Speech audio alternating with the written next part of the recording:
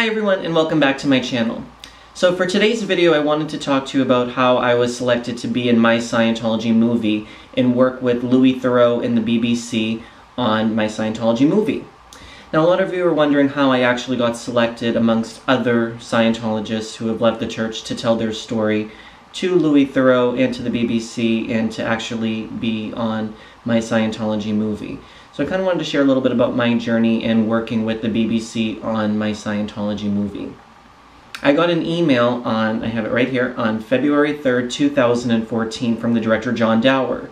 Now, I didn't necessarily know at first who John Dower was. I'm sorry, John, if you're watching this. I necessarily know who he was because he's a filmmaker initially from the UK, so I didn't necessarily know him or what his work was, and I get emails all the time on my um, email account from people looking to speak to me about Scientology and just knowing the tactics of the Church of Scientology and how they are. I sometimes am a little bit hesitant to respond to some people because I'm not necessarily sure some of the times if it's an if it's a legitimate opportunity or if it's someone just trying to get information out of me. So you have to be a little you have to be a little bit hesitant at first when you um, get emails such as this.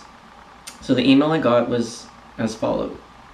My name is John Dower and I'm a filmmaker in London, UK. Bit more about me here and he inserts a um, link to his work. I'm currently making a film about Scientology and would love to talk to you about it on the phone at your convenience.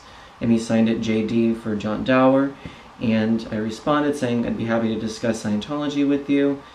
And then a couple days go by, and John sent me like three, four, five emails because I didn't necessarily respond right away to him. And he said would really like to talk to you about possibly being a part of our film for BBC Films. And there's a couple other emails that we go back and forth and I didn't necessarily know if it was going to go anywhere because here I am in Los Angeles, they're in the UK, and what's the chance that I'm thinking in my mind that they're actually going to use me for their film in the UK when um, thousands of miles away? So I didn't, necessarily know what was going to come of this, but I was kind of curious because BBC is a big, obviously, um, a big network, and I thought, hey, this could be pretty cool if it actually goes somewhere, right? So I um, started like emailing back and forth with John to figure out a little bit more details about this project. So then he told me that the film was being presented by Louis Theroux. And I knew the name Louis Theroux. I couldn't really put two and two together right away. I started Googling him um, trying to figure out how do I know Louis Theroux?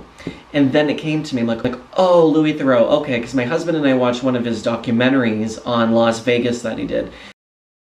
So I actually was reminded, like, oh yeah, like we've actually seen Louis Theroux's documentaries on other subjects. I'm like, oh, this is super cool. Because I did say to my husband when we were watching one of Louis' films, I said, hey, I want to be in one of Louis Theroux's documentaries one day.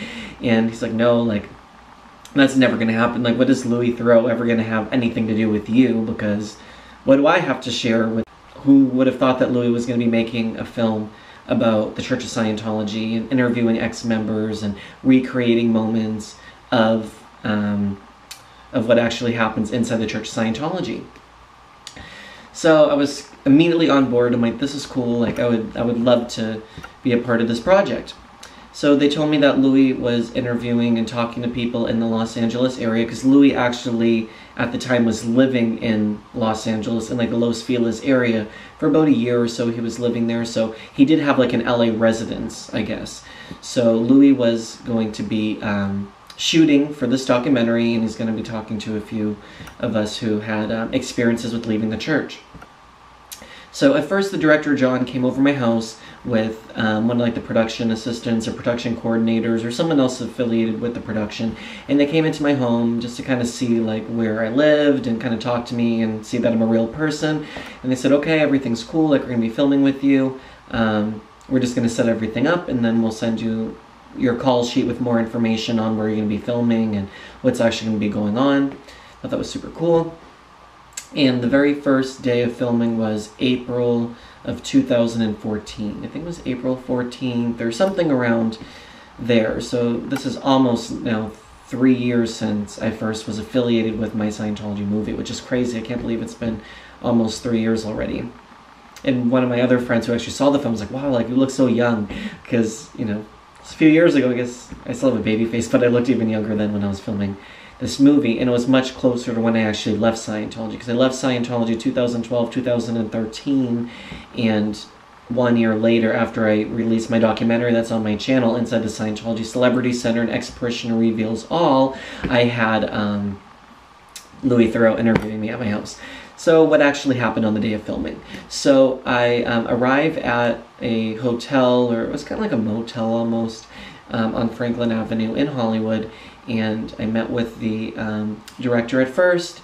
They got like a mic pack, like set up on me, like they were giving me like all prepared for filming, like signing like the different um, release forms to film, and just to make sure like everything was squared away for the rest of the day of filming, from like the document signing perspective, and kind of like letting me know like what they're expecting to go on for the day. So they told me that first I was going to be shooting with Louis in a truck and they have like the cameras all stationed on the very front of the truck. So as Louis is driving through Hollywood, I'm going to be talking to him about some of the different things I went through, and eventually we're going to land at my house, and um, we're going to be shooting some different footage inside my house and inside my basement and stuff like that. We were also actually supposed to be filming at the Celebrity Center, like outside the Celebrity Center, so that was actually in the call sheet, but it didn't actually end up happening for whatever reason, maybe timing or whatever they were going for. They just decided not to shoot outside the Celebrity Center, which for me at the time, I was very nervous about that because this was before I was protesting Scientology. This was before I was doing anything affiliated with that. So I was a little bit more nervous at first to actually film outside the Celebrity Center. So it was almost a good thing didn't happen outside the Celebrity Center because I had a lot of post traumatic stress disorder going on at the time. So um, it actually worked out better this way. I was told just to kind of hang out. Louis shooting some scenes um, sitting by the pool, like just kind of talking about whatever he was talking about. They weren't actually in the film, I don't believe.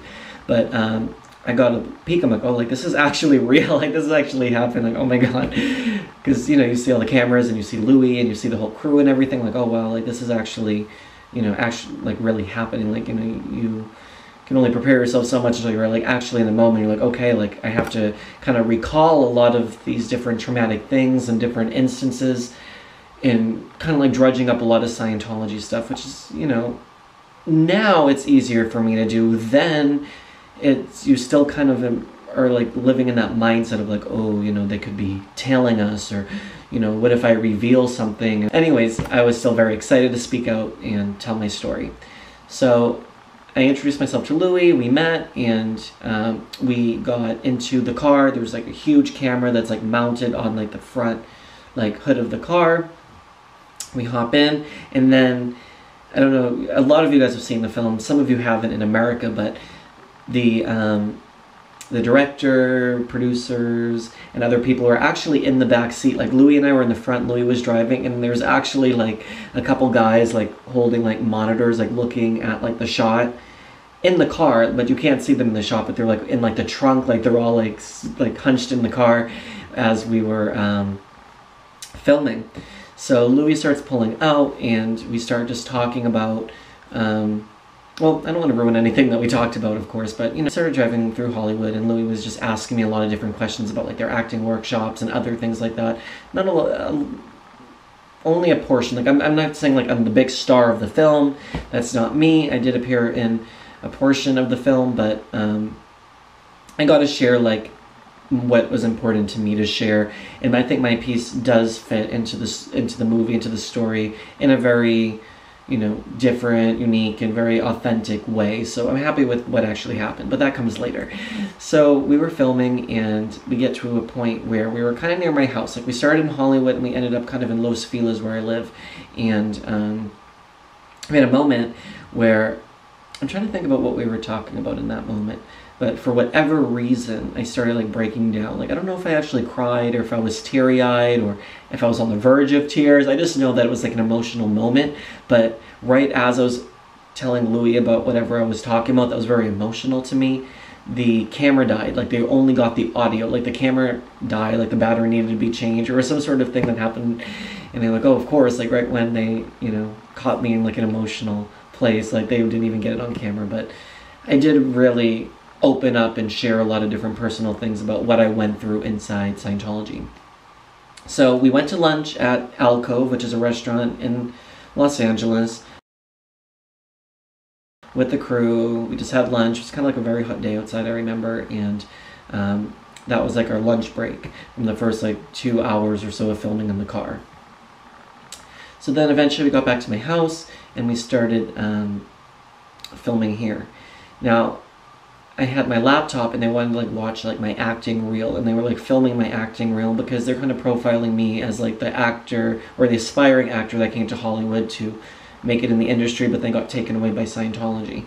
They started filming my acting reel and then my husband's there and got to meet Louis and um, it's funny they turned the cameras on him my husband was talking. He didn't end up in the film. He started talking and didn't realize like they were actually filming in that moment. Like louis was talking and they actually captured my husband talking on camera and he didn't realize he was being filmed so that was kind of funny but um, what happened was is they wanted to see like all my book and lecture materials about scientology so my basement's a complete mess. Like I was so embarrassed by my basement because it was so dirty and there's clothes and underwear all over the place and whatever. And I didn't really want them to be like shooting in the basement, but they really insisted on going into the basement. So I'm like, okay, fine, I'll take you into my basement. So we were like pulling out like all my Scientology lectures and that sort of stuff. And they're like shooting around my basement. I'm like, oh, this is so embarrassing. I hope it doesn't make it in the film. And it did. Like it was so embarrassing. I'm like, oh, it looks like I live in like this like hoarders sort of environment or something like that, which isn't the case. That's live in that basement area.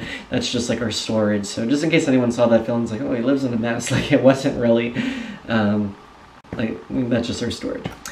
Kind of went through a lot of my Scientology materials and talked about like the amount of money I donated and that sort of thing. And um, then Louis and I were doing a bit of like role playing, which you see a little bit of it in the film. Like Louis and I were kind of going back and forth and doing a little bit of role playing. Then Louis and I were talking about some acting stuff, and um, that didn't really make the cut in the film. They shot like some exterior shots of the house, which at first I was kind of worried about that just because I didn't want Scientology to know where it was living or anything like that. And it's in the film, you can see like the exterior of my home, but luckily um, they haven't found out exactly where I live, which is a good thing. They don't show up to my doorstep or anything like that after being in this film, but not gonna say anything further about that. So uh, months and months go by after I filmed with Louis initially just about my personal story. I knew some other ex-members that were being interviewed and were talking to Louis and um, I knew that they were like actively shooting a lot of different footage. But um, it was kind of this period where there was like maybe like eight months that went by where it was just kind of like radio silence and then they kind of came back to me and said, hey, we're going to be taking like a different direction with the film. Like we're going to start doing some like reenactment videos where we're going to recreate scenes of things that ex-members allege happened to them, such as being locked in the prison, which is the hole where the executives were locked up in the desert compounds.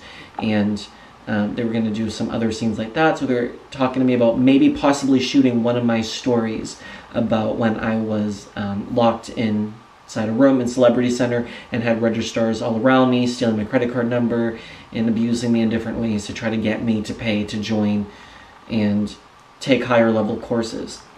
So Louis asked me to write a script about what actually happened to me. I wrote a script. Louis loved it.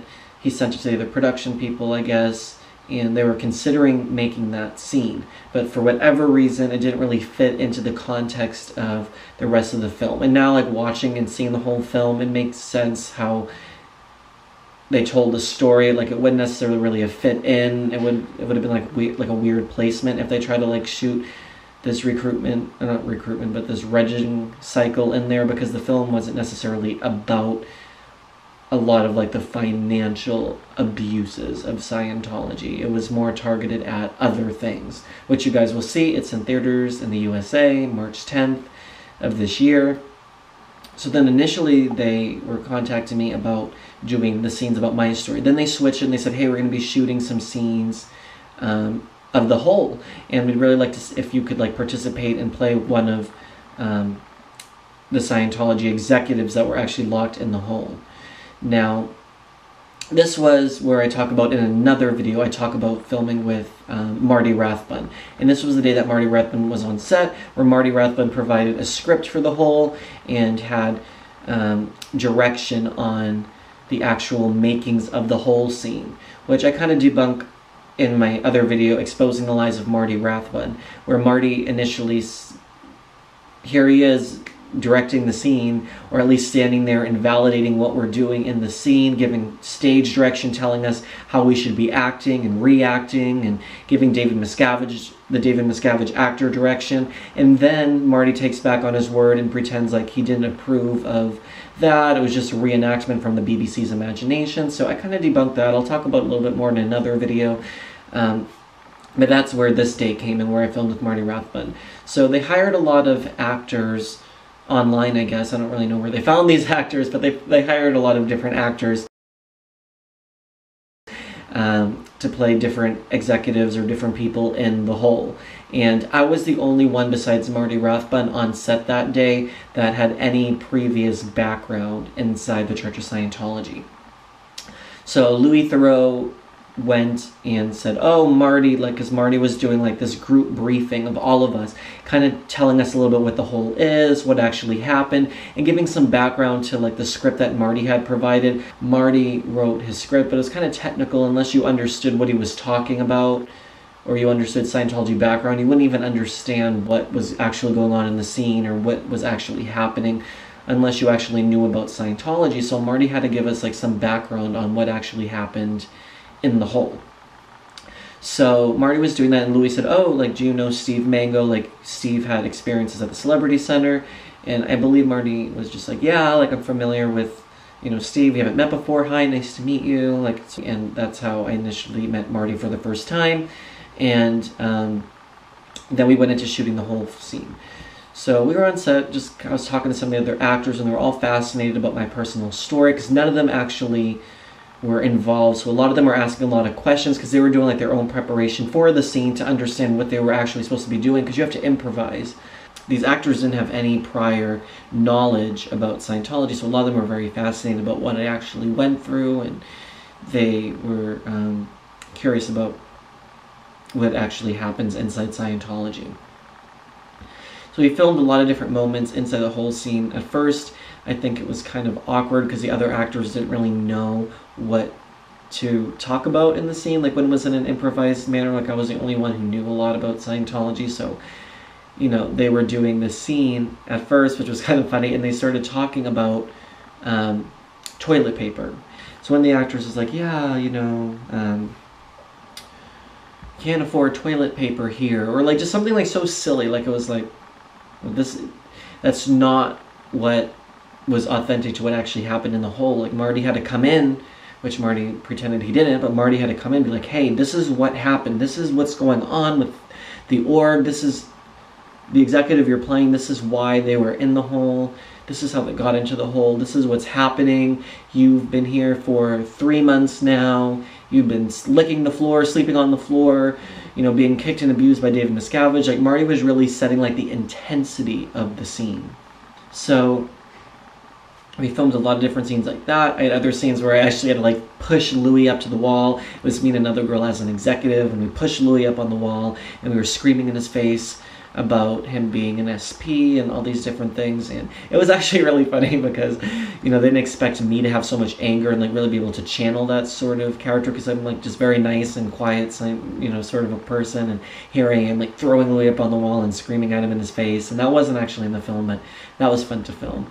Like walking around like on her feet and like like on her hands and feet, like walking around the hole. And that's when Marty was interjecting with what should be and shouldn't be in the whole sort of scene because Marty was sort of like the technical consultant expert, I guess, if you will, on making sure the scenes were done standardly. Let's put it that way in Scientology words. It's to make sure it's the standard of what the whole scene should have looked like. So when Marty wants to pretend that it was just an imagination of the BBC, he was there directing. Now I mentioned before there was a blow up between Marty and Louis, and Marty was saying like he's never going to do any press ever again about Scientology. Like he's just upset because people ask him like stupid amateur questions and they're not really interested in what's actually going on. So Marty was getting kind of fed up about um, that sort of thing. Um, I forget what I necessarily said, but I was talking to Marty, and Marty's just like, "You get it." Like whatever I said to kind of like explain like the mindset of a Scientologist or whatever. Marty's like, "You get it. You understand," and no one else has been able to like articulate that but you. So Marty and I had a little moment there. Now, I also did a moment where I was talking to all the other actors. Marty and Louis were here. There were all other actors sitting at a table, and I'm at like the head of the table, and I'm sharing some of the stories about you know me being gay, and I'm in Scientology, and that sort of thing. And um, Marty was saying something along the lines of like, you know, if I was in charge, like I would have never, you know, make sure that happened to you, and that you know. Um, they would have been able to get away with that if Marty was still, you know, at the top, you know, positions in the Church of Scientology because he would, you know, have, you know, put ethics in on those sort of people or whatever he was kind of saying to try to, you know, interject on how what was happening to me wasn't supposed to be happening according to Scientology or something like that. So we talked about that. We filmed other hole scenes. We did a scene where um, it wasn't in the film, but Louis was in a trash can with a sign around his neck, recreating what Debbie Cook, who was a former Scientology executive, experienced in the hole, where they put Debbie Cook in a trash can, they dumped water over her head, called her a lesbo, and um, tortured Debbie Cook. So we did a little scene. I was throwing water at Louis, and he was in this trash can. So we filmed that sort of a scene. We trying to think of what other things that we shot as well. But we shot a lot of the different things that you guys have all heard about if you're a Scientology watcher, about what actually goes on in the hole and other sort of popular um, stories of the abuses of Scientology. So we filmed that day, that was great. They also wanted me for a scene running around a tree or a pole. They wanted me to be in that scene, but for whatever reason I couldn't make it, I remember, and that was really upsetting because I wanted to be in that scene with them. But I didn't end up making the film either. So we did like some acting scenes, which was kind of cool, you know. I actually got to um, help expose Scientology and use my acting to help do that in that moment. So that was really cool. So this was now sometime in December. I'm trying to think if it was 2014 or 2015. I think it was 2014 that I shot that. And then again, it was kind of like quietness, like didn't really know what was going on with the project. And you know, you never know. Like at, on set, Marty was arguing with Louis, like, "Hey, like you guys, this isn't even to come out. Like you guys aren't to be able to deal with like the legal aspects of Scientology attacking the film." Like, and Marty's saying he's wasting his time. Like, why is he here when, you know, this film isn't even to be put out? And Louis to basically just trash the project, or it's not to go anywhere because Scientology legal is to attack the BBC and they're not going to want to invest like the financial time into using the you know using lawyers to defend themselves against Scientology. Which now we learn the case that's not true. It actually did come out Louis Louis Marty that actually happened. Um, so then there was a while that we just didn't hear anything about the film, and you know you get kind of nervous because again, like Marty was saying, you're not really sure if these type of projects actually do take off because you know Scientology is very litigious. So there was a while that we didn't hear anything. And then there was a premiere at um, in London. There was a premiere in London for the film. It opened in a theater in London for a while. It was for one of the film festivals out there. I can't think of exactly which one it was, but there was a premiere in London, and that went over very well. And then again, there was just a couple months where nothing happened with the film, and then there was the announcement that it was going to be shown at the Tribeca Film Festival which was really exciting because that's in New York City. It's a lot closer to get to than um, the UK, and I was very anxious to see the film and what they made and what they actually put in this film. Because again, I was working on this film over a course of a year, probably between my part of filming at my house and then filming some re- reenactment scenes and kind of talking to the director and Louis between that period to kind of advise them on different things or send them different information about Scientology. So I was still kind of involved in the project even when I wasn't on camera. So I decided to go to the Tribeca Film Festival. I flew myself out, put myself in a hotel room, and um, I really wanted to see the film. I wanted to be there for Tribeca. I always wanted to um, go to the film festivals and um, me being in one of the films was an excuse to go, and especially from the abuses of Scientology, I wanted to see that showcased on a big platform. And I didn't know if the film was going to be out in theaters or what's going to actually happen with the film, so I want to make sure I saw it, at least me see it, so I can see like the hard work that I put in to the film. I showed up the Tribeca Film Festival and I met up with Louis, the director John, there was Tony Ortega was there, and um, Andrew Perez, who played um, David Miscavige, was there, and he did a fantastic job in the film. And there was a couple other, you know, of the, you know, Simon Chinn was the pro- the producer, and there was a lot of the other cast members and team of the BBC. So it was kind of cool to kind of see everyone again, and I was just really excited because this was, you know, a big moment in exposing Scientology. So we got these like badges and these passes, and Louis walked the red carpet with Andrew Perez, the director, and a few other people. I didn't actually walk the red carpet, but you know, the, like the main cast like was on the red carpet. Then we went in to see the film, and Louis introduced the film, and the film started, and, just, and so it's kind of like that anxiety of like, okay, when is my part coming up? How was I portrayed in the film? And what part of my story did they put in? You know, I knew I was in the film because I've seen, I've had other people say I was in the film, but I didn't necessarily know myself of what they actually put in the film. So it's about 30 minutes into the film, and uh, I was wondering, like, where is my part going to fit into, you know, the film? And then Louis gives like a lead in, and I'm like, okay, this is probably my part. And then you hear a voiceover of me, and I'm like, oh my god, like, no, like, you know, that's me. You know, you have like 500 people listening right now to me sharing my story, and then realizing like, oh, this is going to be at different film festivals or in theaters around the world. Like, this is major, not from like me as an actor standpoint, because I'm not actively pursuing acting right now. It's like that wasn't the thing. It was what was moving for me was knowing that Scientology didn't get to take one over on me in that moment. I was always told to keep my mouth shut, stay silent, like don't speak out. There's too many repercussions if you speak out against abuses or about Scientology, like the very powerful people would say.